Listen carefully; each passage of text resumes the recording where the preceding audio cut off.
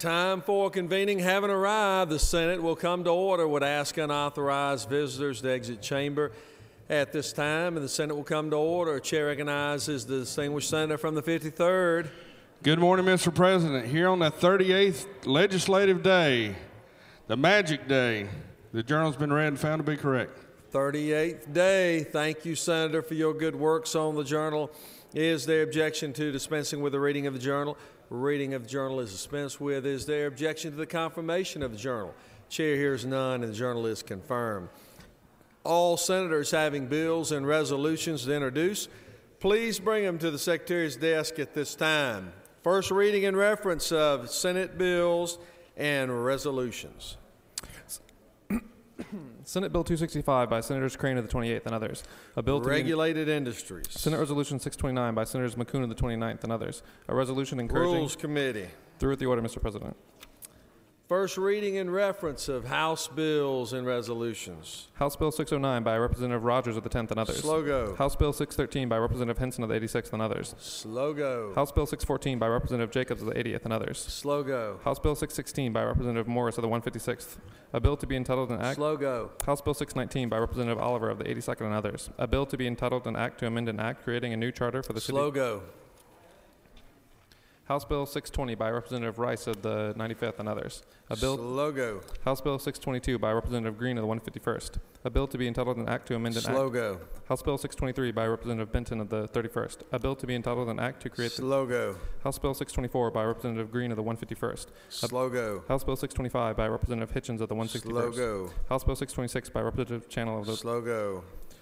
House Bill 627 by Representative Jones of the 47th and others. Uh, A- Slow. House Bill 628 by Representative Neal of the 2nd and State others. and local governmental operations. House Bill 629 by Representative Gregory of the 34th and others. A bill to be entitled State and local governmental operations. House Bill 630 by Representative Kelley of the 16th and others. State and local governmental operations. House Bill 631 by Representative Kelley of the 16th. State and local governmental operations. House Bill 632 by Representative Duke of the State and local governmental operations. House Bill 634 by Representative Wilkerson of the 38th and others. State and local governmental operations. House Bill 635 by Representative Pruett of the 149th. A bill to be State and local governmental operations. House Bill 636 by Representative Pruett of the 149th.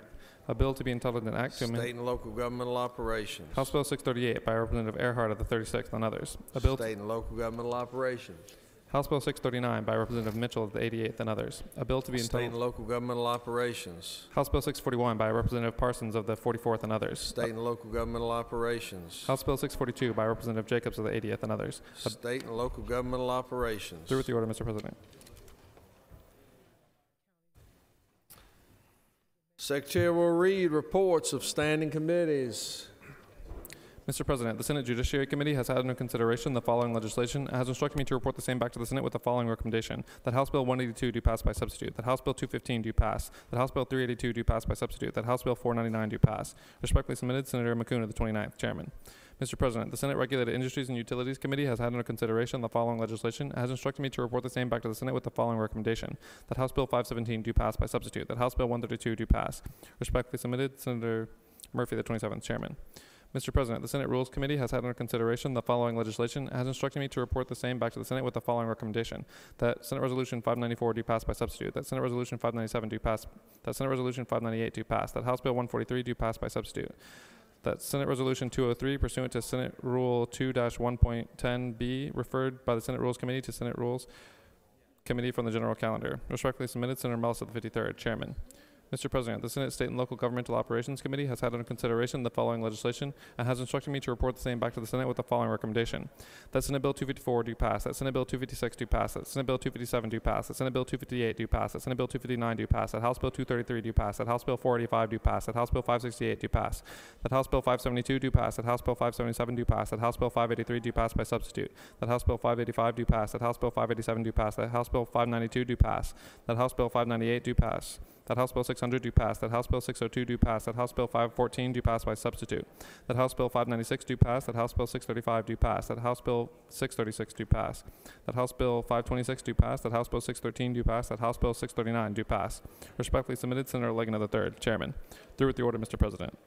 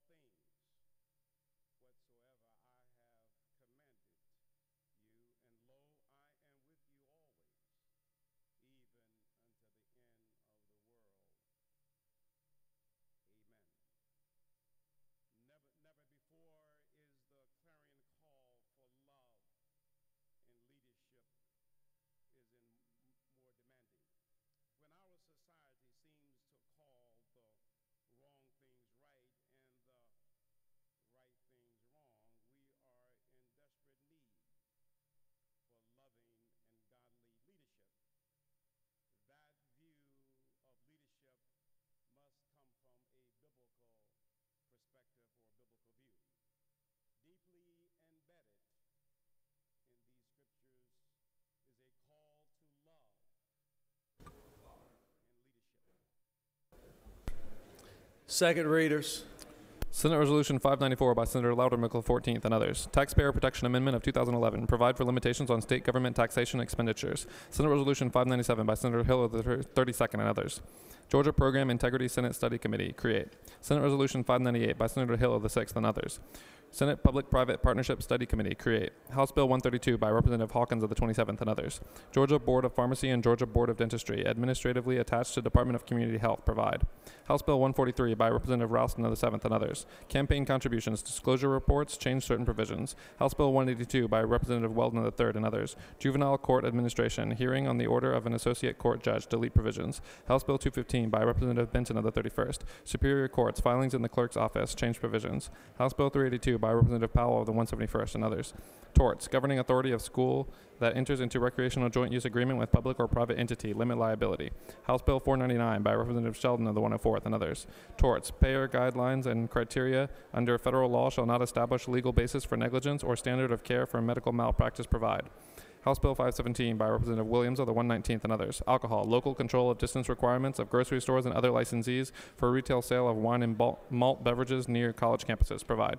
Through with the order, Mr. President.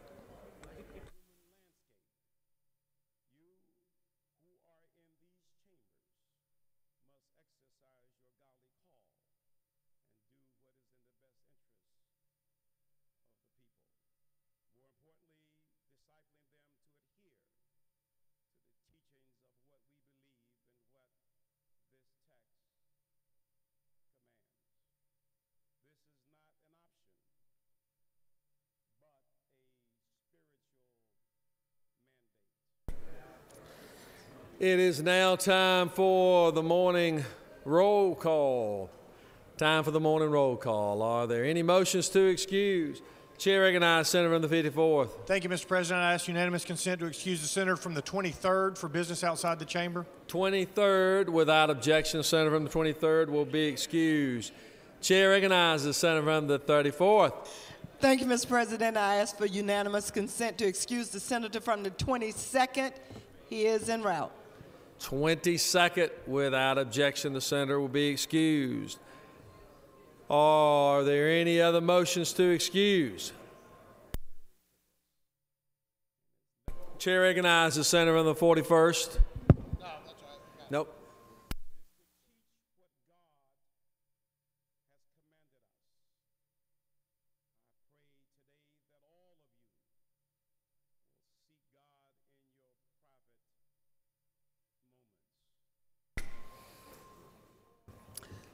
Secretary will call the roll of senators. Please signify your presence by voting the yay switch. The secretary will unlock the machine.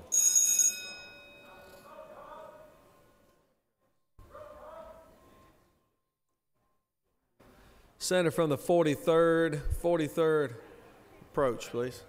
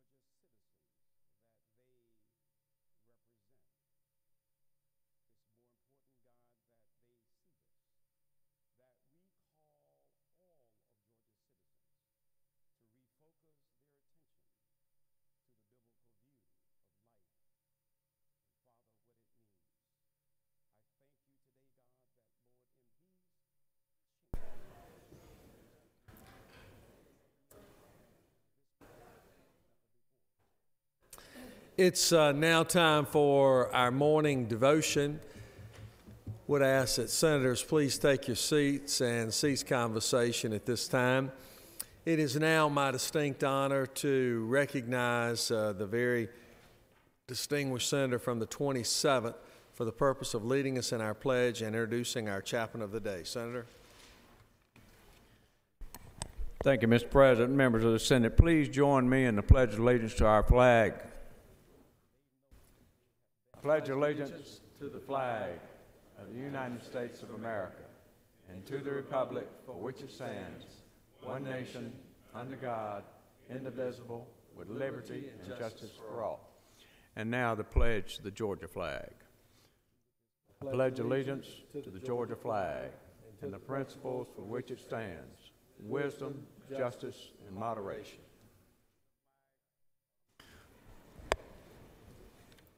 Well, it gives me a great deal of pleasure to um, introduce the pastor of the day, uh, who is my pastor, Father Keith Oglesby. Uh, Keith is one of the rare breed around Atlanta. He was actually born in Atlanta at Crawford Long Hospital. Married to his wife, Lynn, who is also Atlanta native, and they've been married for 33 years. They have three children Lauren, Will, and Catherine. Uh, Keith has a 24 year business career before he uh, became a, uh, a priest. He was with, the, um, with FedEx, Delta, and GE. Uh, and with FedEx, I guarantee you he wasn't a castaway uh, with FedEx, but uh, he, is, uh, he has a business mind. Uh, and a business career as his background, which is sometimes unusual for a, um, for a priest. Um, he graduated from the Candler, School of Theology at Emory University in, in 2007. He served uh, his first uh, two years in the ministry of St. Aidan's in, Atla- in Alpharetta. He has served as rector of the Holy Spirit and Cumming, which is uh, my uh, church, for almost four years since 2009. Please welcome our pastor today, Keith Oglesby. Thank you, Senator Murphy and Lieutenant Governor Cagle. I'm honored to be the chaplain of the day again. I've actually done it two other times, and it's a real privilege to speak to you and give you a short message. They told me to keep it under 30 minutes, so we'll work on that. Uh, but as we begin, ladies and gentlemen, I'd like to begin with a reading from Scripture. It's from the 19th chapter of 1 Kings. And God said, Go forth and stand upon the mount before the Lord. And behold, the Lord passed by, and a great and strong wind rent the mountains and broke in pieces the rocks before the Lord. But the Lord was not in the wind. And after the wind, an earthquake, but the Lord was not in the earthquake. And after the earthquake, a fire, but the Lord was not in the fire. And after the fire, a still small voice. This passage is about the prophet Elijah. And if you're not familiar with his story, Elijah had been a very busy and a very effective public servant. He was really a reformer. He had challenged injustice, and he'd done it so well, he'd made a lot of powerful people angry. They became so angry that they wanted to kill Elijah. So he got out of town. He went on a retreat up in the mountains, and during this time away, Elijah complained to God about how he's being mistreated after he'd done all this good. And that's when God told Elijah to go outside and to pay attention. And what he found out is that in the midst of many distractions, God was still able to speak to him in a still small voice. So, how do you listen for God's voice in the midst of the distractions of your daily life? And how do you do it especially when you have to make such important decisions in your role as senators. As leaders, there are many forces that attempt to influence your decisions. They may not be as distracting as what Elijah faced a windstorm, an earthquake, a fire. But those forces that you face can still make it hard to hear that still small voice of God. as you struggle to decide the right thing to do. And probably the most common voice you hear is from your constituents, and listening to us is important. But I imagine not every constituent's voice is equally helpful. I was listening to the radio the other day, and I heard someone come on and say, I know how to fix things in Washington. In fact, this person said, I've written a 30 point manifesto on my blog. And they went on to say that my first point is to stop sending any money to Washington. Well, that may be well intended, but it's not particularly helpful. And I imagine as senators, you hear from a lot of good, helpful constituents and then some that aren't so helpful. Listening to our voices is not enough. Another voice you hear is just from all of your experience, your education, especially your experience as legislators. And that's an important voice to listen to, so to speak. All those forces have shaped you into the men and women that we chose to represent us. But no matter how knowledgeable you might be because of all your experience and education, it's not enough. Each one of us is limited in what we know. And so, what you do as responsible leaders is you have assistants that do research, you have people who are experts to testify, and that's important. But I'm sure you found that at the end of some long days, that's still not enough, that something is missing. So, when that happens, what do you do? Well, when all of that falls short, your constituents, your expertise, many of us will turn to judge to conscience to decide. And as a minister, I would never tell anyone to not listen to your conscience. But I would offer a caution about conscience. It's not perfect. It too is formed by forces in society, the state, the media, the church, our families. And those, as important as they are, are still not perfect. Leaders in the Jim Crow South were following their conscience as they enforced unjust laws.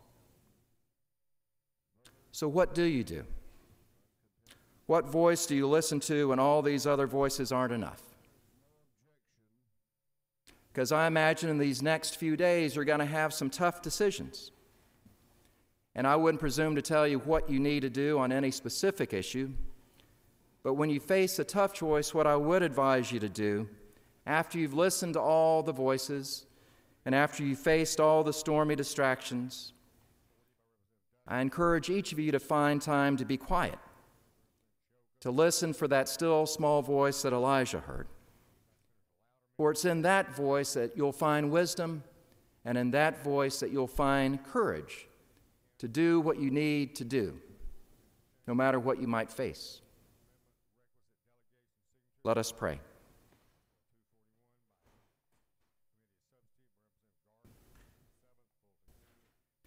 O God, the fountain of wisdom, whose will is good and gracious, and whose law is truth. We beseech thee so to guide and bless our senators and the legislature of the state, that they may enact such laws as shall please thee, to the glory of thy name and the welfare of thy people. We pray this in your holy name. Amen.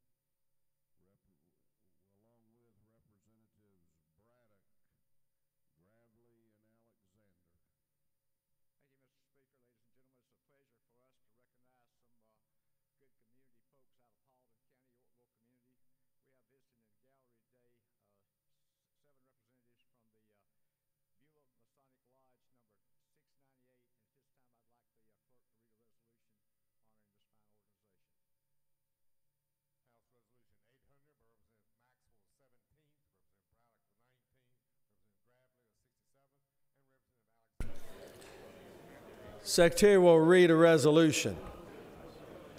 Senate Resolution 565 by Senator Ramsey of the 43rd. A resolution congratulating the Miller Grove High School varsity boys basketball team on winning their fifth consecutive state championship and for other purposes. Whereas for the fifth time in their brief nine year history, the Miller Grove High School varsity boys basketball team earned the top ranking in the state through insistence, fortitude, and perseverance, and by defeating Gainesville High School with a score of 61 to 57.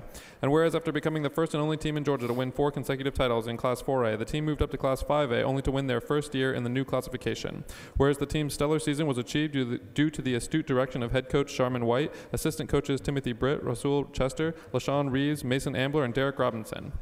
Now, therefore, be resolved by the Senate that the members of this body congratulate Miller Grove High School varsity boys basketball team on winning their fifth consecutive state championship in both Class 4A and Class 5A and extend their sincere best wishes for future success. Through with the order, Mr. President. Is there objection to adoption of the resolution? Chairs none. The resolution is adopted. To speak to the resolution and recognize these wonderful champions, I call upon the distinguished senator from the 43rd. Thank you, Mr. President. Good morning, ladies and gentlemen of the Senate. It is my honor and privilege to introduce you to the mighty Wolverines of Miller Grove High School. These young men, under the tutelage of Coach Sharman White, have won not one, not two, not three, not four, but five consecutive 5A state championships. So I have the captains up here with me. The rest of the team is in the stands. Please stand, and ladies and gentlemen of the Senate, help me welcome them and congratulate them on a wonderful feat. Coach, go ahead. Thank you, and it's truly an honor to be recognized uh, by Rep- uh, State Senator Ramsey.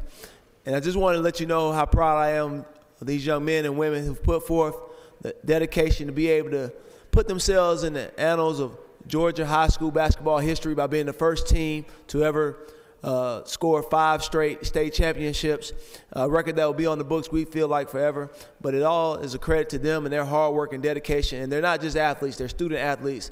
And they do it in the classroom as well as they do it on the floor. So I'm very extremely proud to be up here uh, to say this in front of you. And thank you for having us. Thank you, Coach. Thank you, sir. Okay. Thank you. Are there any unanimous consents? Is Senator want any senator wish to rise on a point of personal privilege? Chair recognizes Senator from 38th.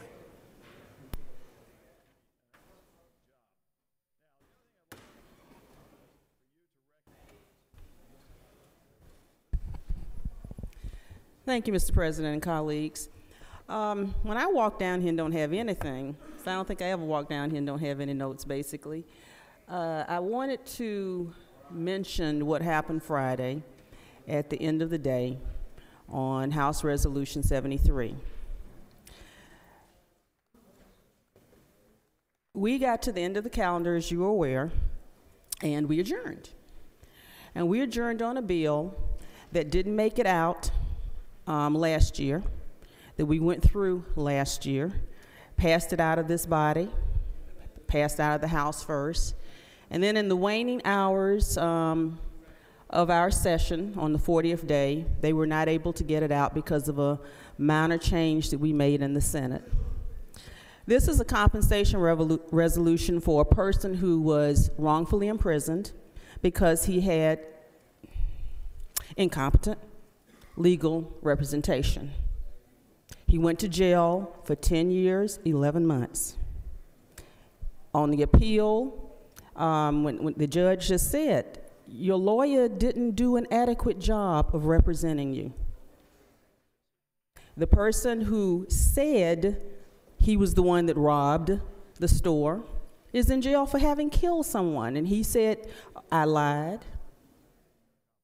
I didn't tell the truth when I pointed out this young man.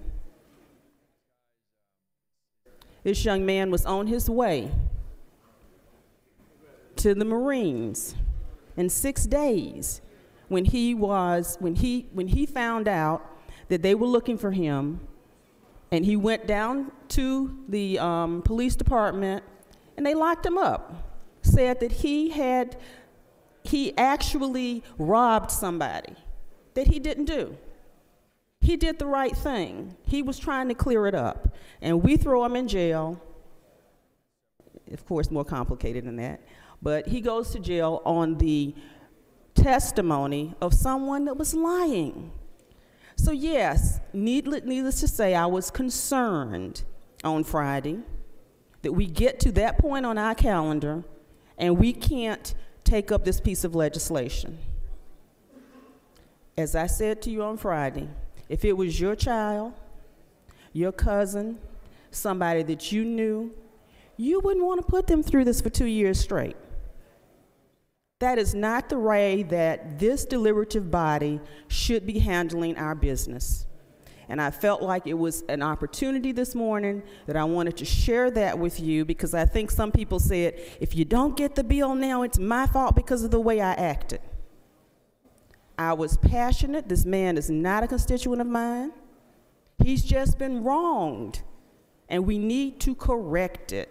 And so I just made, wanted you, everyone in this body, to understand that you're playing with this man's life that he's already given up 10 years, 11 months for. He could have been in the military doing what you would want your child to do, have a good life, and he instead had to go to jail, and then we play games with this man's life. I don't think that's what we're here for. Thank you, Mr. President and colleagues, for indulging me.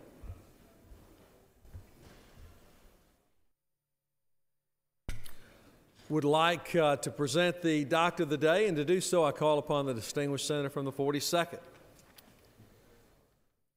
Thank you, Mr. President. It's my great honor to introduce again uh, Dr. Patty Schiff, who uh, has served as the Doctor of the Day on several occasions. She also lives right around the corner from me, and when I took the training wheels off my child's bike this weekend, I was good, glad to know that Dr. Schiff was three doors down. Um, she uh, has a very distinguished medical career, but the one thing I'll mention as she's come here several years in a row now is that last year she was going to go to Antarctica as the um, as the uh, ship physician with the National Geographic expedition. That trip was successful. She went, she's back, and uh, we're all glad to see her. So thank you so much, Dr. Well, I don't have much to say except to have a very safe and productive day, but I also remind you, uh, since we've already had a very busy morning, to wash your hands and use the hand sanitizer. And thank you very much for your hard work. Yeah, exactly. Good.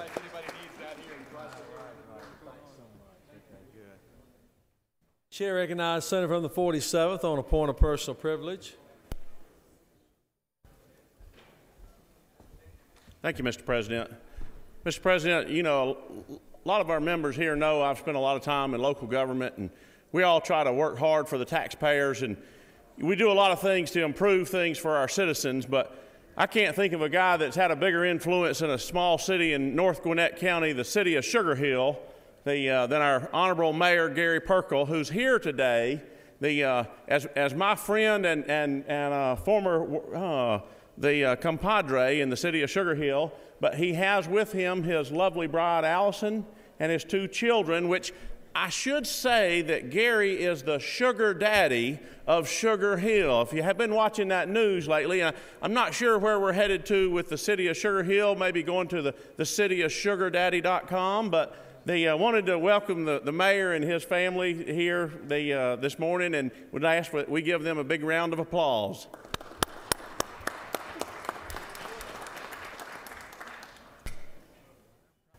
You, we have a consent calendar of privileged resolutions that are before you.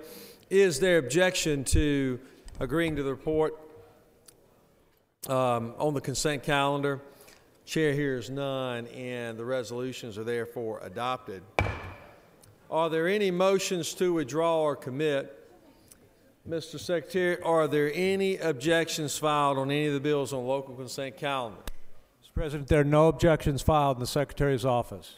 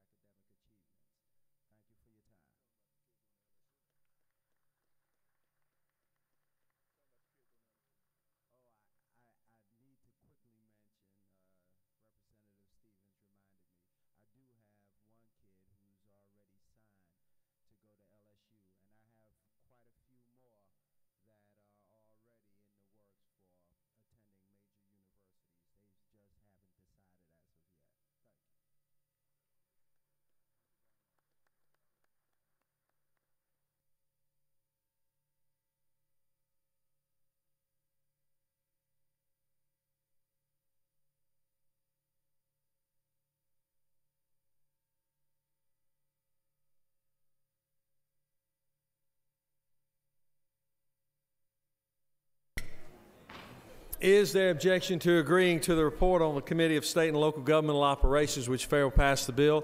Chair hears none. All those in favor of the local consent calendar will vote aye. Those opposed, no. And the Secretary will unlock the machine. Voting on the local consent calendar.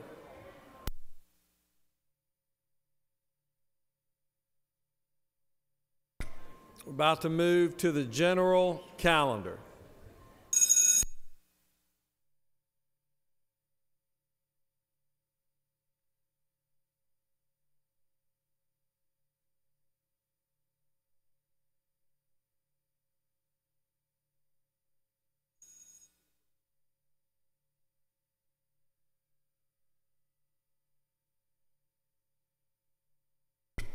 Chair recognizes Senator 38th. President, and looking at the low consent calendar, I see that we have on House Bill 639 Jones of the 25th. I think it should be Jones of the 10th. I just wanted to make sure we had that corrected.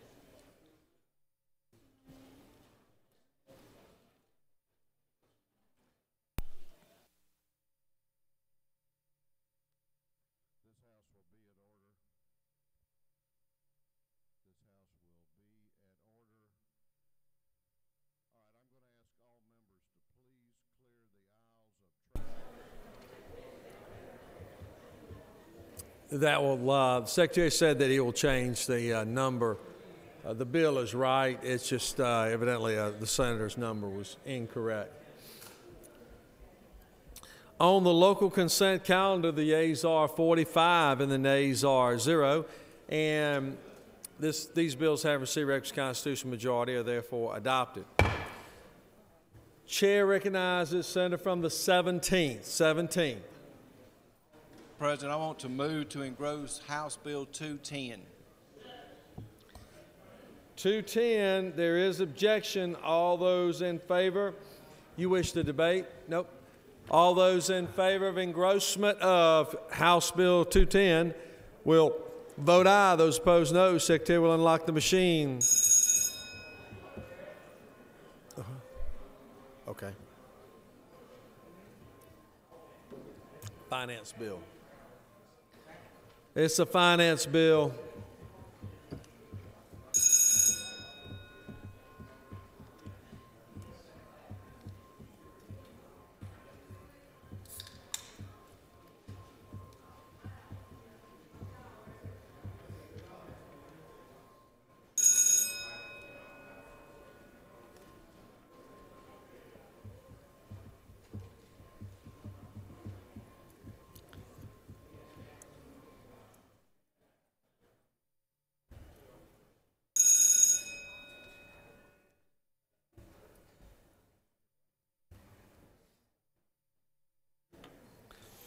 On the motion for engrossment,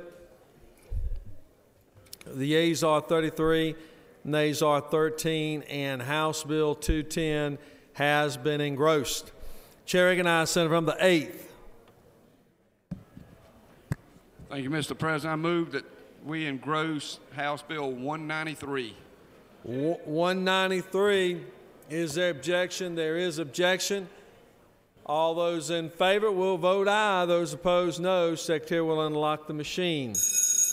Another finance bill, uh, House Bill 193, being moved on engrossment.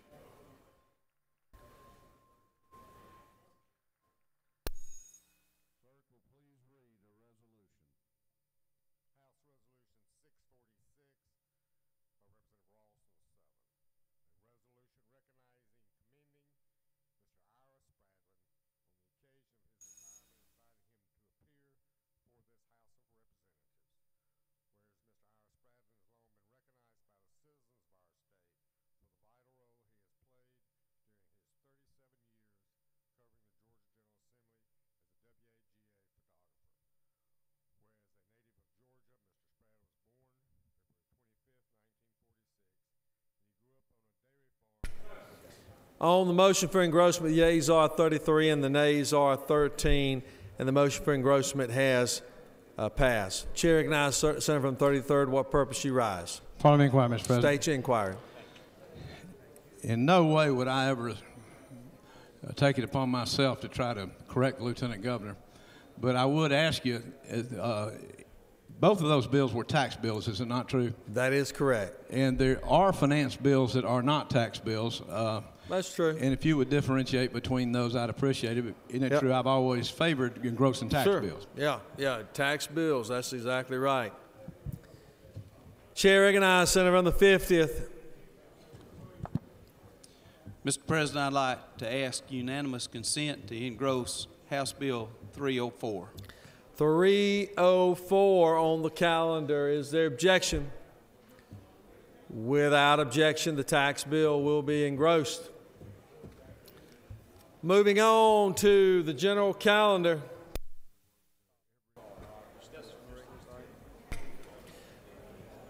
Secretary will read House Bill 36, 36. House Bill 36 by Representative Watson of the 166th and others. A bill to be entitled an act to amend Code Section 27-1-2 of the OCGA relating to game and fish definition so as to revise the definition of game fish and for other purposes.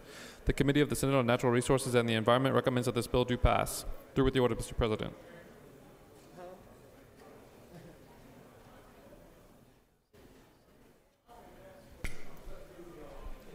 Chair recognizes senator from the first. Present the bill. Please give the senator your attention.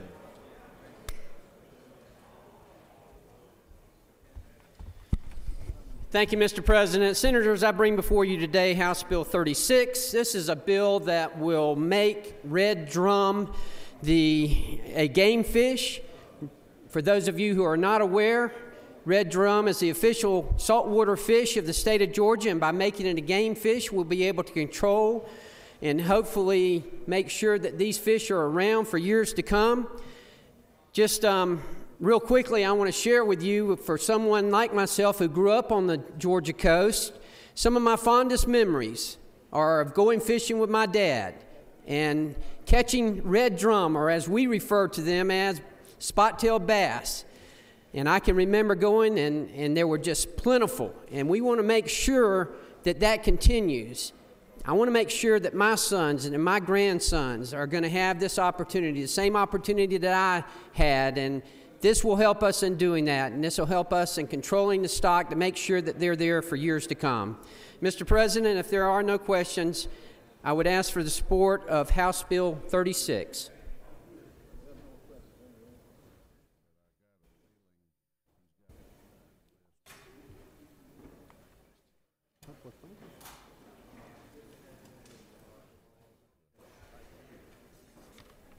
You do have a question. Chair recognizes Senator from the second. Gentleman in the first, do you yield, sir? I yield. If this should pass in this in this form, sir, wouldn't it exclude local fishermen from being able to sell the spotted tail bass to their local uh, markets?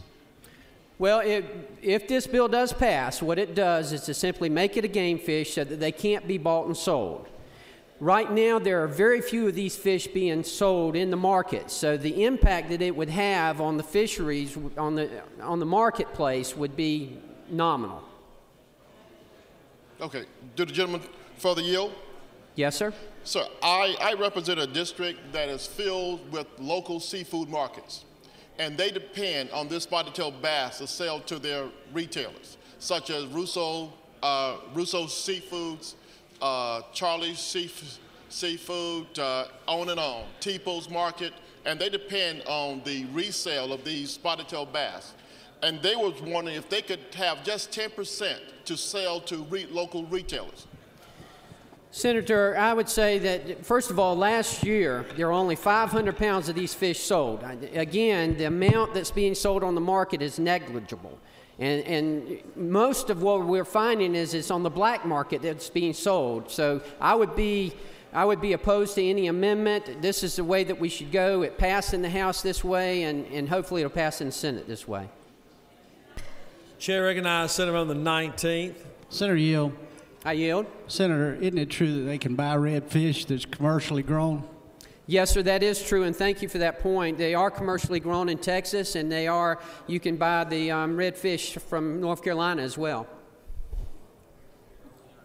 Uh, no further questions, Senator. Thank you, Mr. President. And again, I would ask for your support of House Bill 36. Chair recognizes Senator from the second.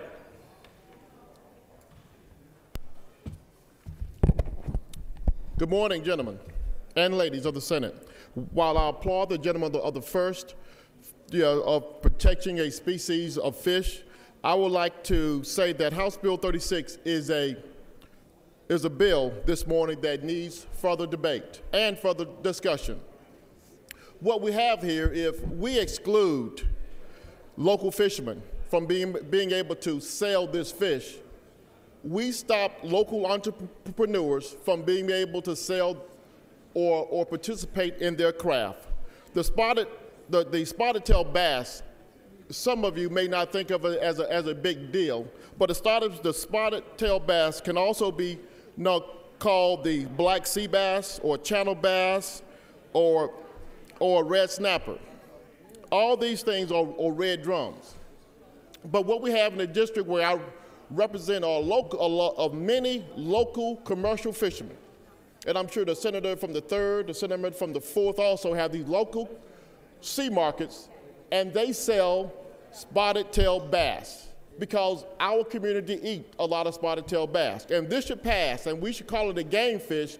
They would no longer be able to fish for this item or be able to re- or sell this item. So I, I encourage this body to vote against this bill.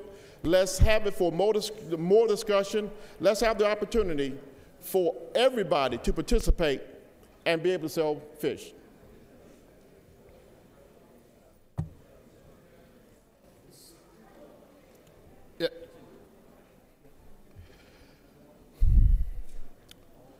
You got to understand, members, what we're doing is, is to, by definition, we are adding redfish as a game fish. I'm sure the game fish, this redfish, will not go extinct in one year, but by calling it a game fish, we will no longer be able to fish locally and be able to sell it locally. And you will not put them out of business, but you will put a, a, a restriction on a lot of local fish markets that they have never had and be able to, and, it, and it will drastically affect the retailers, the local retailers on the coast and consumers in our area. Thank you. If there be no questions, are there questions? The gentleman will recognize the gentleman from the 33rd.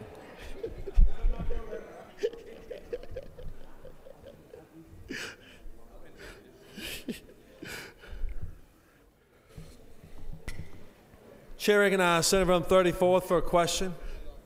Will the senator yield? Yes, ma'am. Senator, are the uh, red drum kin to wide mouth bass? A distant cousin. Distant cousin. Thank you. Not, not in the same species, but, but they are more of a. Uh, these fishes, these fish grow from 14 inches to 50 pounds. And, and at 14 inches, they are a good, fishy product for our local, uh, for, for, for our locals, and they eat it, and we really enjoy it. Are there any other questions? The gentleman recognized.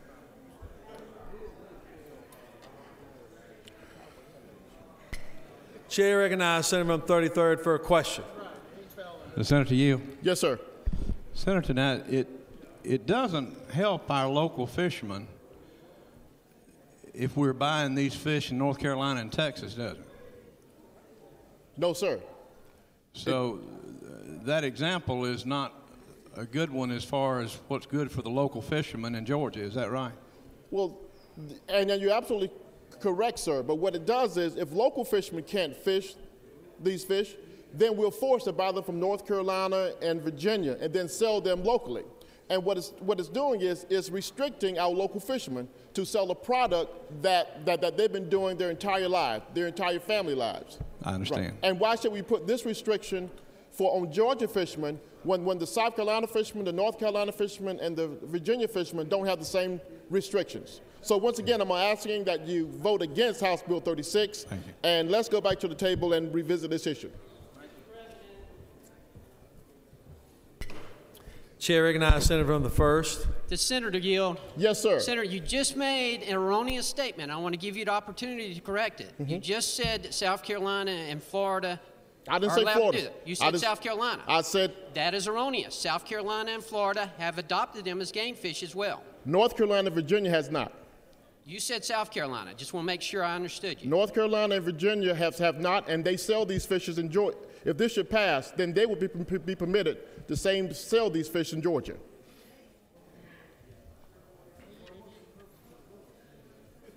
If there be no further questions, I urge you to vote against House Bill 36, and let's go back to the table and let our local fishermen do what they've been doing their entire lives. Thank you. Mr. President, if there be no further questions, I yield the will. Does any other senator wish to speak for or against the bill? Is the objection agreed in the Committee which failed pass the bill? Chair is none. Porter Committee is agreed to. Shall the main question be now put? Are there any objections? The chair is none. Main question is ordered. Shall this bill now pass? Questions on the pass the bill. All those in favor of the bill will vote aye. Those opposed, no. Secretary will unlock the machine.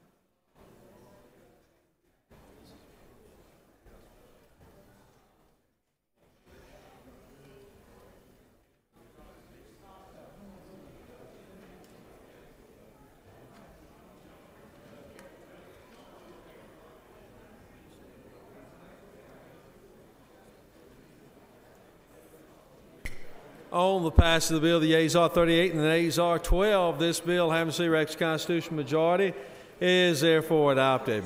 Secretary read House Bill 45. House Bill 45 by Representative Ehrhart of the 36th. A bill to be entitled an act to amend Article 1 of Chapter 16 of Title 50 of the OCGA relating to general provisions relative to public property so as to change certain provisions relating to writing off small amounts due to the state and for other purposes. The Committee of the Senate on Appropriations recommends that this bill do pass. Amendment 1. Senator McKoon of the 29th offers the following amendment. Amend House Bill 45 by inserting the following after due to the state on line 3. To amend Code Section 50-3-54 of the OCGA relating to state wildflowers so as to designate the native azalea as the state wildflower and for other purposes. Through with the order, Mr. President.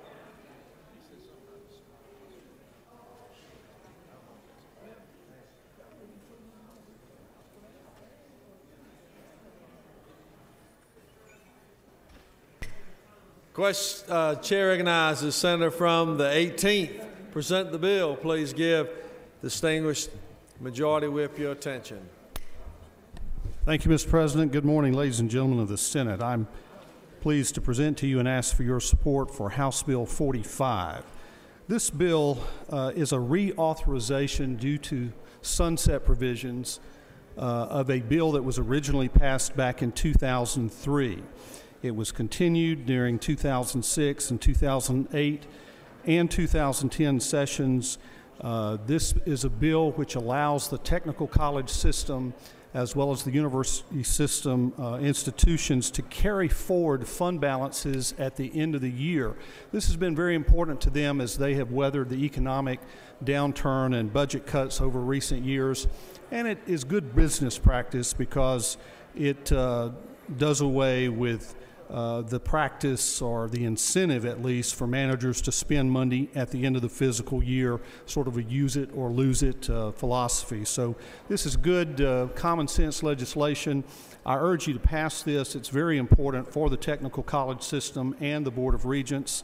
Uh, there is an amendment on your desk uh, which someone else will speak to, but at this time, um, I would ask you to pass this bill clean because if we pass it here today, it will go to the governor for his signature. And this will again be of great help to the technical college system and the university system. Mr. President, I'll be glad to yield for questions if there are any. There are no questions, Senator. Did you speak to the amendment? I did, uh, and I would ask you uh, not to uh, adopt this amendment, which has to do with an azalea as the state's uh, wildflower. While I'm certainly in support of that, I don't believe this bill is the appropriate venue for that. Thank you, Mr. President. I yield the well. Chair recognizes Senator from 29th. President, I'd, I'd just like to withdraw the amendment. Withdraw the amendment. The senator is moving to withdraw the amendment. Unanimous consent. Is there objection? Without objection, the amendment has been withdrawn. Now, does any other senator wish to speak for or against the bill? Is there objection to agree in the Porter Committee which failed pass the bill? Chairs none. Porter Committee is agreed to. Shall the main question be now put? Are there any objections? The chair is none, and the main question is ordered. Shall this bill now pass? The question is on the pass of the bill. All those in favor of the bill will vote aye. Those opposed, no. Secretary will unlock the machine.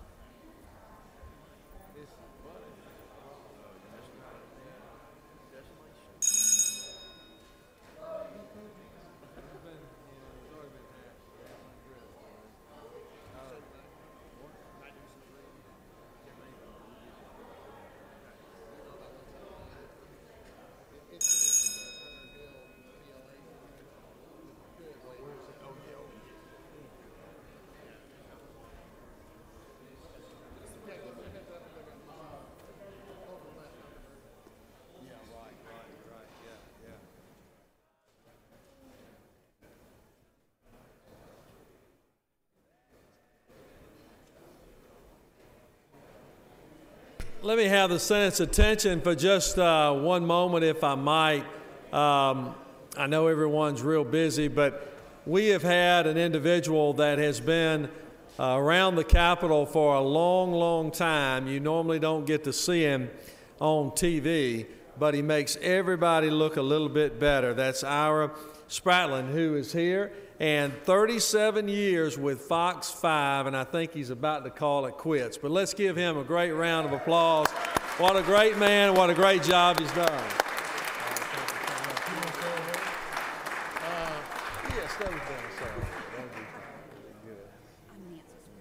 Well, I always wanted to do this, get in front of the Senate. Uh, I have a, a bill. I have a, I have a simple bill. Will hurt no elderly, women or children. Just a simple bill. Housekeeping. Good, good housekeeping bill. that's right, that's right. Uh, but uh, but I've, en- I've, en- I've enjoyed it uh, over the years. And in the Senate, I've uh, seen some great speakers, orators.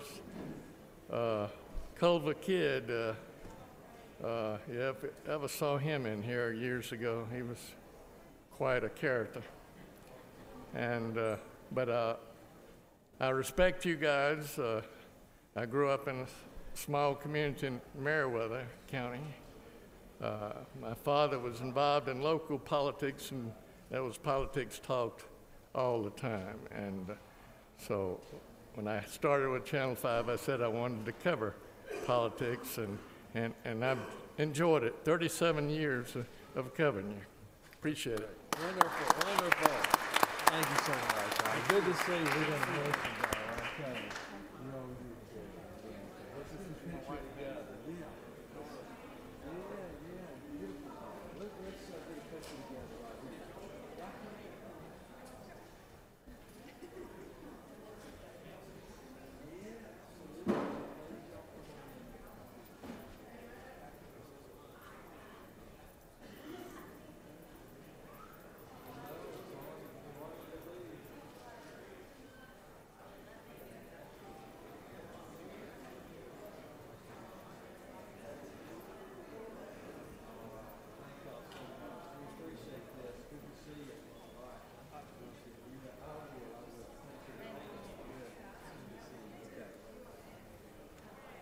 On the pass of the bill, the yeas are 50, the nays are 0.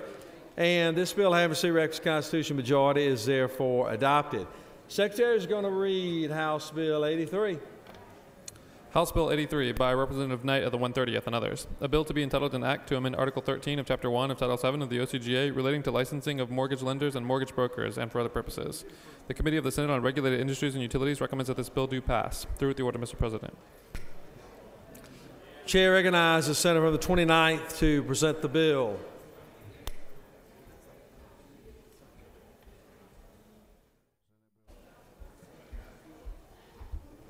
Thank you, Mr. President. It's my privilege to present to you House Bill 83. Uh, under current state law, uh, the banking department has interpreted uh, current state law to say that realtors cannot provide information to a lender in a short sale transaction unless they are in fact a licensed mortgage loan originator. HB 83 will correct this uh, issue within the law. Uh, it will allow realtors to provide information to a lender and facilitate short sale transactions without risk of violating the interpretation of current law. Of course, as many of you know, short sale transactions are extremely common in today's market. And if we were unable to uh, move on House Bill 83, uh, the net result would be many realtors withdrawing from short sale transactions, making those more difficult uh, to conclude. Uh, House Bill 83 is supported by the Georgia Association of Realtors, the Banking Department, and the Mortgage Bankers Association. If there are no questions, Mr. President, I'll yield the well.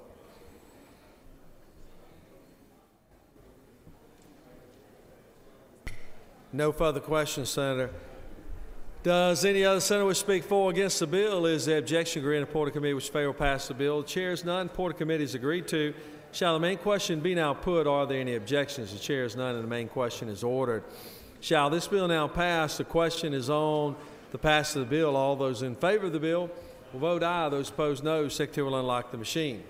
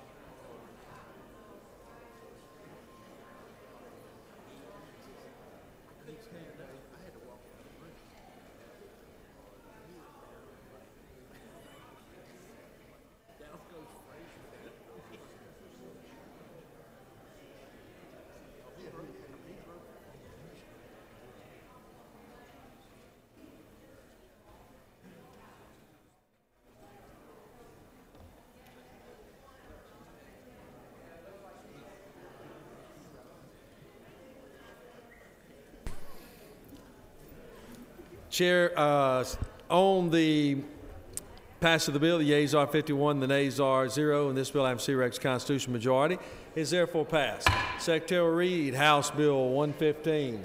House Bill 115 by Representative Dixon of the 6th and others. A bill to be entitled an act to amend Article 3 of Chapter 2 of Title 20 of the OCGA relating to local boards of education so as to revise pr- provisions relating to suspension and removal of local school board members and for other purposes. The Committee of the Senate on Education and Youth recommends that this bill do pass by substitute. The Education and Youth Committee offers the following substitute to House Bill 115. A bill to be entitled an act to amend Title 20 of the OCGA relating to education so as to pr- revise provisions relating to suspension and removal of local school board members upon potential loss of accreditation and for other purposes. Amendment 1. Senator Ford of the 39th and others offer the following amendment. Amend the Senate Education and Youth Committee substitute to House Bill 115 by inserting after conditions on line 5 the following to provide restrictions on remediation to attain full accreditation and for other purposes. Through the order, Mr. President. Chair recognizes Senator from the 37th present the bill.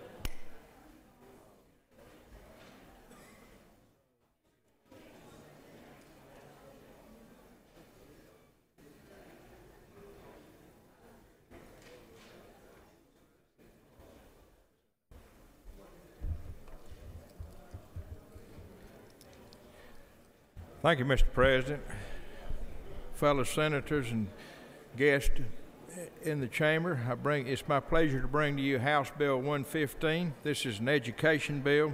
This deals with school districts that are in danger of losing their accreditation. Summation of the bill has got five points. The first, first being local boards of education are required to give the state Board of Education written notice within three business days of being placed on the level of accreditation immediately preceding loss of accreditation. This is known as probation. Extends the time period for which the Board of Education can conduct a hearing uh, upon the notification from 30 days to 90 days.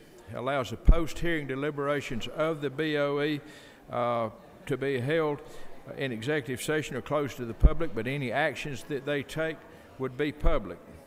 Also prohibits local boards of education from expending public funds on attorney's fees and litigation expenses related to the proceedings initiated after the removal of such board members uh, in, in the legally prescribed manner. And lastly, it amends the definition of eligible high school as it relates to the Hope Scholarship to allow students graduating from a previously accredited high school to still be eligible for the Hope Scholarship.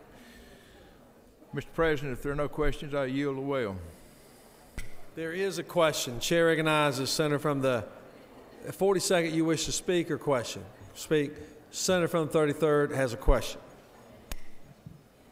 Senator Yield. Yes, Senator sir. Yield. Mr. Chairman, let me ask you.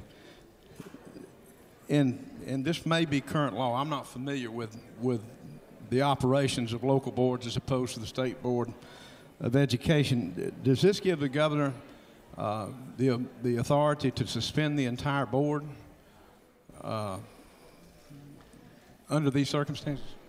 Well, the procedure on this, uh, if the board is notified that they are, the local board is notified they're on probation, they would be required within three business days to notify the state board of education, who in turn would have hearings within 90 days to determine a recommendation that would go to the governor as it relates to the board, specifically at individual members or the board as a whole.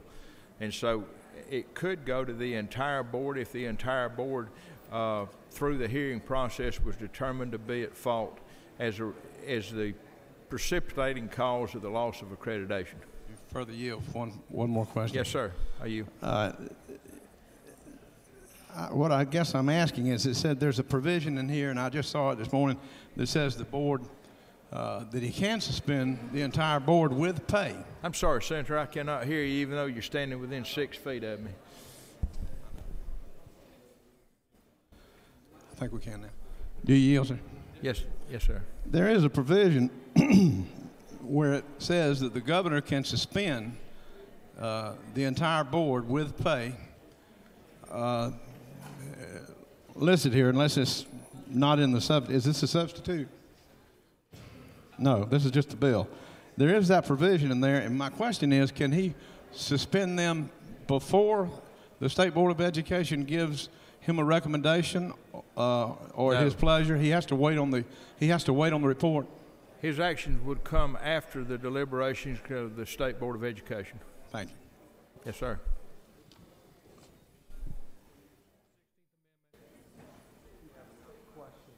Chair recognizes Senator from the 39th for a question. Will Senator yield? Absolutely. Uh, I just have a couple of questions for my own edification, which may help our colleagues. Presently, the testimony at one of these hearings is, is public. Is that not correct? Would you repeat your question? At present, regarding these hearings, the testimony that is offered um, is, is public testimony. Is that not correct? I believe that's correct. Okay. If Senator further yield. I will. Now, presently, are the deliberations of the board open to the public? I believe they are. Will the Senator further yield? Yes, sir. This is a adminis- is this an administrative hearing? What, how would you characterize it? I know it's not a trial, but it, is it an administrative hearing or is it something else? It would be an administrative hearing, but I think the I think the beauty of having the uh, deliberations closed is I believe that it would be in more fairness to the board members, of the local board members, to have that testimony. After, after the hearings are concluded, the, their findings would be made public and any, de- any deliberations, or not deliberations, but any actions taken would be, have to be voted on in public and they'd have to have supporting documentation. But I, I think people are in a position, if they're brought before a board, they could have damage done to their reputations if there were charges that had been made that were not valid. Will the senator further yield for Yes, a final question?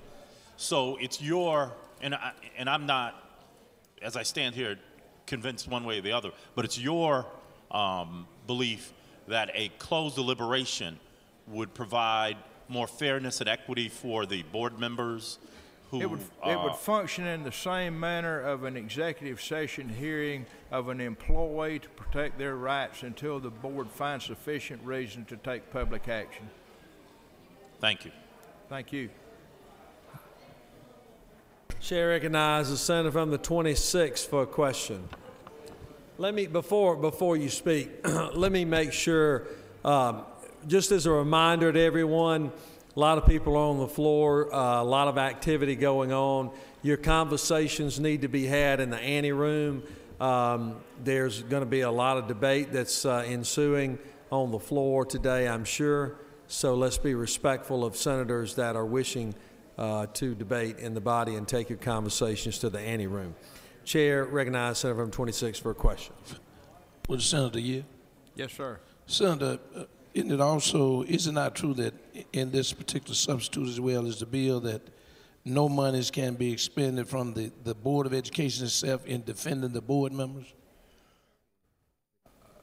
That's only after their removal has taken place, up to, up until the point of time that the governor would suspend them. They have the right to representation by county funds. With the gentleman, the, the senator earlier. Yes, sir. Senator, how does it affect uh, Section 5 of the Voting Rights Act if members are elected and all of a sudden uh, uh, suspended by the governor and then he appoints someone? I have no comment on that. I'm not an expert on the voter right bill, sir. Well, do you, uh, with the senator further here, Absolutely. uh, do you think there needs to be some clarification in, in this substitute as well as to whether or not this needs to be submitted, if passed, need to be submitted to the Justice Department in order for the appointment of suspended board members and the appointment of other folks to serve in, tho- in tho- those board members' place? I'm sure the senator knows of which he speaks.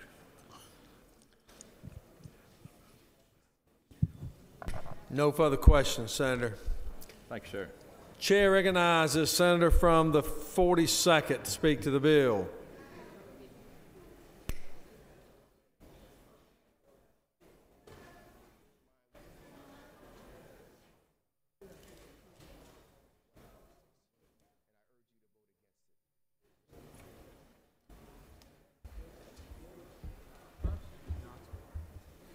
Thank you, Mr. President, colleagues. I represent three school districts in my district. I represent the City of Atlanta schools, the DeKalb County schools, and the City of Decatur schools. One of those is one of the best run school districts in the state. Uh, it's a charter system. Uh, it gets a great number of benefits from being independent of some of the State Board of Elections issues, and, and, and it's to be commended. The other two have both been the subject of this bill. And the problem with the policy as it stands today is that it focuses exclusively on who is on the board. And it converts every single educational accreditation issue, first and foremost, into a political issue. And I believe that we have to have a serious discussion and, an, uh, and, and a revision of the law. Because I'll tell you, in DeKalb County and in the Atlanta Public Schools, as soon as you decide that the governor's only option is to remove the board members, it becomes a question of who is on the board and not What are they doing? What's the issues in the school? What are the educational outcomes we're looking for? What's going on with the students? What's going on with the teachers? The issues that we need to be focusing on in crisis is reduced to who is on the board. Sometimes that might be an issue. Sometimes that might be the biggest problem, but it's certainly not true all the time. And I know. Um, that, that the governor's office believes that they need uh, a, a, much finer instrument than the bludgeon of removal as the only option. And so I, I, I rise today to say that, that, that this bill tweaks the law, but it maintains the current law as solely about who's on the board. And, and the bottom line is this the purpose of this law cannot be that you want to punish the people who are on the school board when this stuff happens. It can't be punitive towards the school board. It has to be forward looking for the benefit of the students in that district. And I think that this particular piece of legislation, while it does tweak the, the, the, the current law, it needs to be the, the, the current law that allows removal has to be broadly redefined and really analyzed to ensure that we can refine the state's role in these contexts. Because right now, we're not doing a good job of it. We're maintaining this single political issue of who is on the board, and it's not healthy. It's not healthy for the community. It's almost inherently divisive. It's inherently undemocratic to go in and say we're going to remove you as the only option. And, and, and I don't think anyone is satisfied with the current legislation. We're going to drop a piece of legislation in the next few days that will be a comp- comprehensive reimagining essentially of what the governor's powers would be in the event of a school board coming on probation. So, and it will be, it will involve a variety of options, a menu of options for the governor rather than just removal. I think it will be a much healthier, much more robust discussion about how this law needs to look. Um, and, and I think it's important for us to recognize that because right now the system is broken. Nobody likes it. And, and this this small step to, to make some changes in here. Some of them are good, some of them are bad. Um, but at the end of the day, what we really need to do is re examine the entire process because having been through it with two school systems, it's, it's very damaging to a community. It's very difficult to deal with, and it automatically removes the focus from the schools and the kids and puts it on the politicians and the board. And that's not where that focus needs to be. So we're going to engage in a much broader discussion over, over the next year or so. And I look forward to working with the governor's office. We've already begun the discussion. I look forward to working with my other colleagues in the Senate um, and, and, and in the House to re examine and, and to analyze this law because right now it is not uh, a situation that makes good sense. Um, and, and so I would just commend you all to, to a, a, robust discussion of how we should handle these issues because the way we have it now, it's, it's, it's broken. Thank you, Mr. President. If there's any questions, I'm happy to uh, yield. Chair, you wish to ex- accept questions. Chair recognizes Senator from 35th. Thank you, Mr. President. Will the senator yield? I'll yield. Uh, is, not it true that uh, Section 2 of this, this bill is a good portion of the bill that helps those students who, through no fault of their own, may find themselves in a situation where the accreditation is is uh, gone, and they have worked hard to uh, get scholarships and to uh, finish school, and this will just allow them to um, be able to use the Hope Scholarship. absolutely, and I, and I intend to vote for the bill essentially because of that mm-hmm. section. And isn't it true that it's my bill that got put on as uh, all of Section 2? I, I, know that, that you have been working on this for, for a long, long time. Yes, I have. Thank you very much. Thank you. Chair recognizes Senator from 35th for a question. Uh, excuse me, 37th. Does Senator yield? I'll yield. Senator, I want to applaud your passion for public education. But I would like Thank to you. ask you is it not the case historically when school boards and school systems have been threatened with lack of accreditation?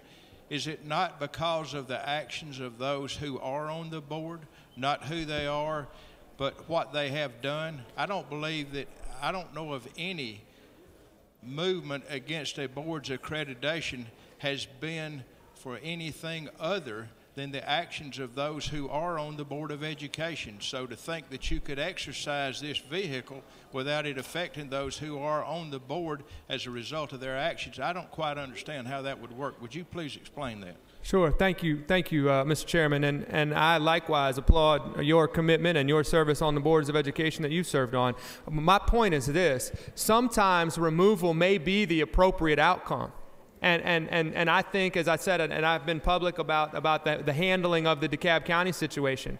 But, but at the same time, if we don't have a broader set of, of um, opportunities and options for the governor, then all he's got, he or she, is, is removal. And, and, and so I think that if we have a broader set and a much broader discussion about what the options are, how you can handle a board, how you can require certain a- actions from a board, how you can appoint a monitor, et cetera, et cetera, or even a recall election, um, you could do that and have removal as a last resort. But the current legislation doesn't allow any discussion about what the governor can or should do with respect to the board other than removal. That's my only point, Mr. Chairman.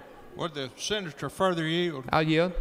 Is it not so that when the board of when the state board of education brings this into a hearing, they would take into consideration uh, student achievement and see how it may be negatively affected by the actions of the board. I don't believe the hands are tied of the state board of education to counsel and work with the local board. I think I think a recommendation to the governor would absolutely be the last step based on their recommendation if if a proper solution could be derived. The state board of education has that authority and even the governor has that authority. He doesn't have to remove that board. He could negotiate a settlement with them. It is true that he doesn't have to remove the board, but the only standard in the law is whether or not the board's presence will help or, or, or, or hurt the accreditation process. So there is no ability to analyze anything else other than ha- the, the, the presence of these board members and their uh, impact on accreditation. And I think that's a fair, limited, if you're going to talk about removal, but it would be good, I think, to have express options out there. And again, I, I, I'm looking forward to this discussion, and we'll, we'll put this uh, bill out in the next day or two that expands uh, the menu of options uh, that the board can have and that ex- expands the types of discussions that can occur because right now the state board is only allowed to consider yes or no on removal. There, there's not the, the broad set, of, at least under the current law, there's not a broad set of options for them. But, but I'll, I'll look, again, I, I'm going to vote yes on this bill, um, but I, I, I just want to, to be sure that we're having this type of discussion, and I look forward to doing it, and I know that, that, that you will be committed to getting it right. So.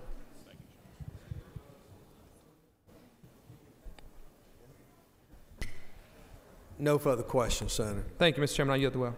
Chair recognizes Senator on the 39th to uh, speak to the bill.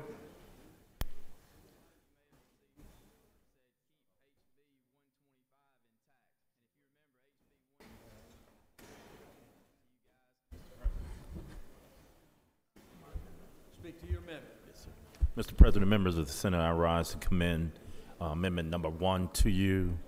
Uh, this is a very simple amendment, but it gets to the core issues, some of which have been discussed this morning already regarding accreditation. Whether you agree with SACS and what they have done or have not done, uh, one of the issues that has concerned me and concerned a, a great number of people is that SACS not only is it a accrediting firm, if a school system loses accreditation, they are the firm that offers remediation. Um, that is, if they take away your accreditation, or even if they put you on probation, they're the agency, they're the company that does what? That tells you how to get back on to get your accreditation. They not only tell you how to get your accreditation back, they work with you and counsel with you and advise you, and then they give you a bill. They charge for those fees. It seems to me, and seems to many other people, that there's a conflict of interest involved. There's a conflict of interest when SACS can take away your accreditation and then demand that you use them to get it back and charge you a fee and send you a bill. That is, I think, to uh, to my way of thinking, the very definition of a conflict of interest. Presently, it is my understanding that the state, through the State Board of Education, enters into a memo of understanding with SACS on accreditation. Um, you might ask, well, then, how could, what, what would happen if this was to pass?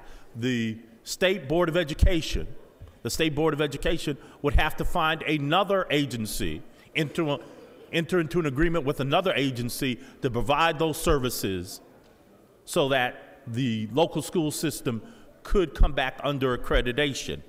Um, you know, we could have a debate all day long about whether you like SACS or don't like SACS or whether they're fair or unfair, but this amendment doesn't get to that issue. What it gets to is whether or not we're going to allow the people who uh, put, can take you out of compliance to be the ones who say, this is how you get back into compliance and here's the bill for it. One could argue that there's a economic incentive on the part of the of SACS to take away the accreditation in order to get the business. I'm not saying that's what's happening, but you could argue that point. We need to make sure that there is no conflict of interest, and therefore I commend this amendment to you and ask you to vote for it. Uh, Mr. President, I'll yield the well unless there are questions. I'd be glad to take any and all questions from my colleagues. Chair recognizes Senator from 37th, Distinguished Education Chairman, for a question. Senator, do you yield? Yes, sir. Would it be unfair to say that a doctor who diagnoses an illness would be precluded from treating that illness to restore the health of the patient? I think someone's going to have to work through the process to preserve it. And I don't, I have not seen any evidence that, Stack, that SACS has abused their ability to work in public schools. I speak against your amendment. Well, I, and I appreciate that. Uh, you know, when you go to the doctor and he finds a problem, he sends you to a specialist. Uh, what I think needs to happen is, thank you, Mr. President. I think what needs to happen here is there needs to be a specialist, and that specialist doesn't need to be SACS. I think we need to, and uh, you know, and I, I, agree with you, Senator, that uh, if when you say, or I agree that you believe when you say that you have not seen any evidence of any conflict of interest. But as we know in our recent discussion of the ethics bill, we should do what? We should do away with even the appearance, even the appearance, the perception of a conflict of interest. No further questions, Senator. Thank you. Chair recognizes Senator Number 26 for speak to the bill.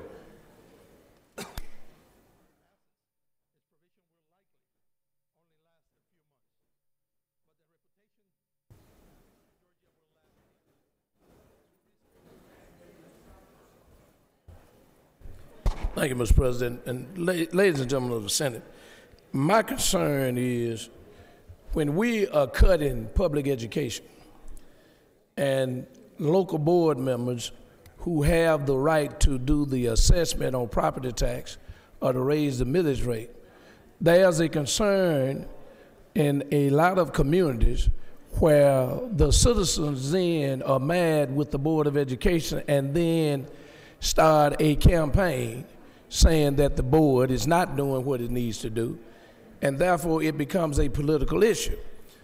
But one of the main things that, that I think we need to look at that most, the majority of the school boards are elected. When you remove them, when the governor removes and appoints somebody else, these folks were duly elected, then it flies in the face of Section 5 of the Voting Rights Act.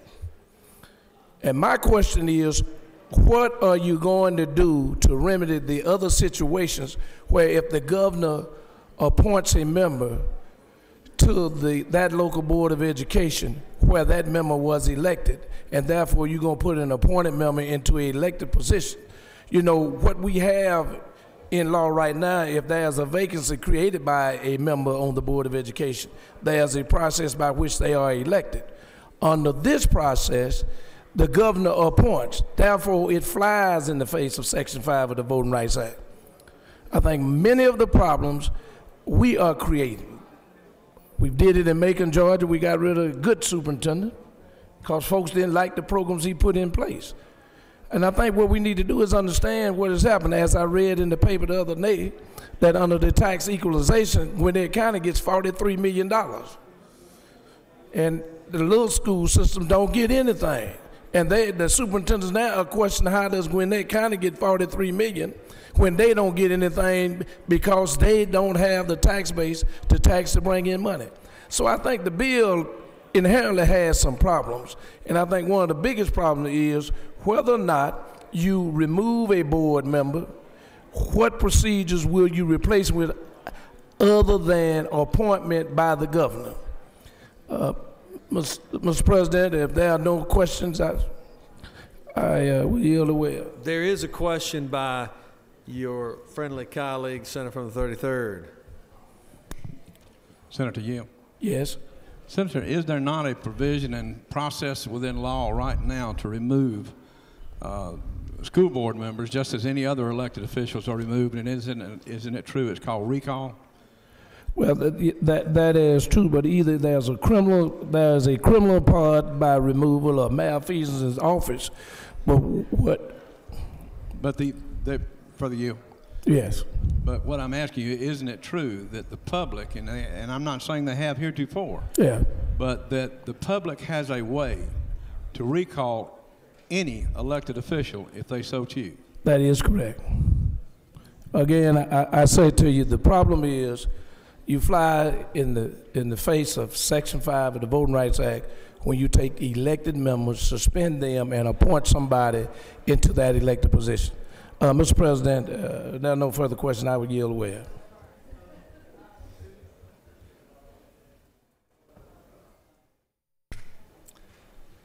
Questions on the adoption of the floor amendment. Is there objection? There is objection on the floor amendment offered by the senator from the 39th. It's been uh, uh, debated on the floor. All of those, you wish the ayes and nays? Ayes and nays. All of those in favor of Amendment 1, authored by the senator from the 39th, will vote aye. Those opposed, no. Secretary will unlock the machine.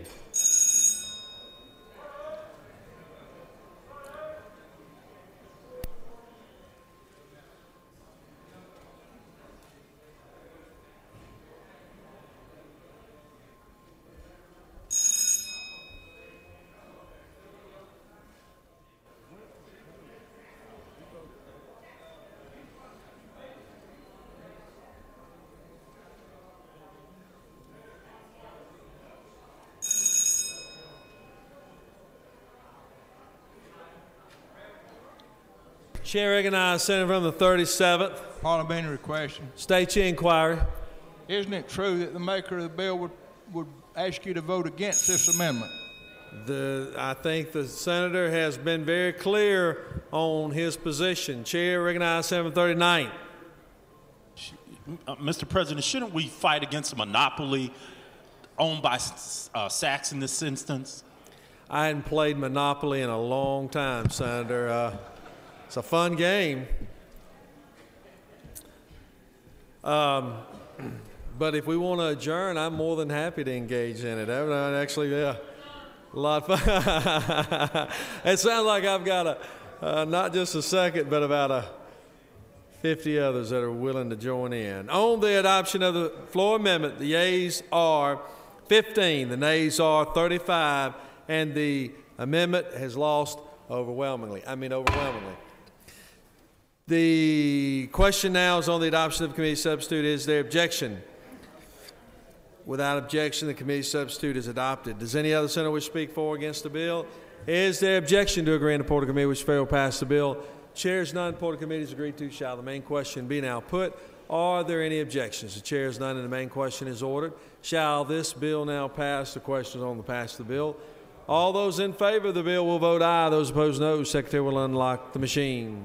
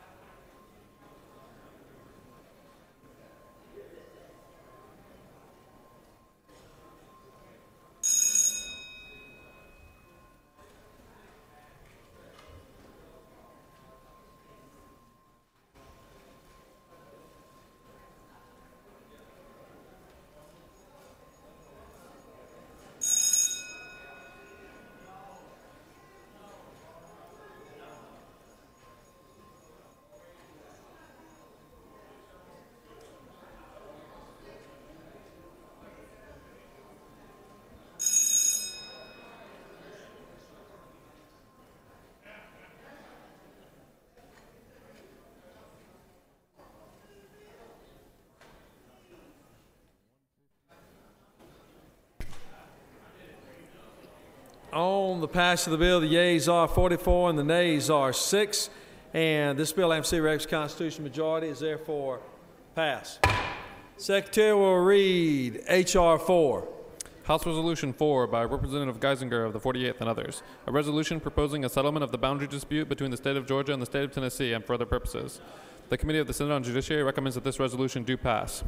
Amendment 1. Senator Shafer of the 48th offers the following amendment. Amend H.R. 4 by striking the current boundary between the two states reflecting on line 17, by striking the period at the end of line 35 and inserting in lieu thereof, and, and by inserting the following after thir- line 35. Whereas the General Assembly of the State of Georgia desires to settle the potential litigation with the State of Tennessee and for other purposes.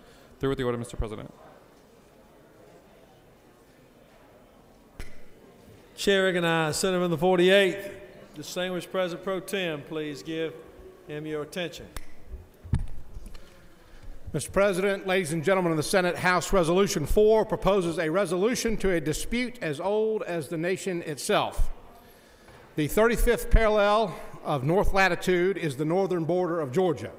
It was the northern border of Georgia when the state of Georgia joined the first, thir- first uh, 12 states in forming the United States of America. It was the southern border of North Carolina when it joined with Georgia and those 11 other states in forming the United States of America. And it became the southern border of Tennessee when Tennessee was carved out of North Carolina. I won't recall, uh, recount for you all of the, the details, uh, the 200 year history of this dispute, but suffices to say in 1817, a erroneous survey was conducted mismarking the uh, boundary between uh, our two states at a location other than the 35th parallel. This erroneous survey was never ratified by the United States Congress, as would be required to change the boundaries of states. It was never ratified by the Georgia General Assembly. In fact, if you open up the code book and look at the uh, boundaries of this state, you will read that we today uh, define and maintain the 35th parallel as our northern border. This state, uh, the, the United States Court of Appeals, and even the state of Tennessee have all acknowledged repeatedly over the last uh, 200 years that the 1817 survey is wrong, and that, the, uh, that even the boundary that some believe uh, is the boundary today doesn't match the details of that 1817 survey. What House Resolution uh, 4 does is uh, propose a uh, solution to this uh, controversy by uh, ceding um, some of the disputed area uh, to Tennessee in return for them acknowledging our claim to uh, sufficient area for us to establish our rights to the uh, riparian rights to the Tennessee River, rights that were guaranteed to us in 1803 uh, when we entered into a compact with the United States of America to cede them the, the territories of Georgia that now form the states of Alabama and Mississippi. Uh, the amendment before you, which I've been, uh, which I've offered in consultation with the senator from the 54th, makes clear that in proposing this settlement, that we are not abandoning our claim to the entire area, all the way to the 35th parallel of northern latitude, and it uh, also directs the Attorney General of this state uh, to commence uh, litigation for that entire area if they do not accept uh, this offer and settlement before the end of our session in 2014. Uh, I, I uh, sponsored uh, a resolution, a joint resolution, which was passed by both uh, chambers of the uh, General Assembly and signed into law by Governor Perdue five years ago, asserting our uh, reasserting our claims. Every member of the body at that time co sponsored the resolution, and we received a unanimous vote for that. And I ask your unanimous consideration of this resolution today. And if there are no questions, I will yield the well.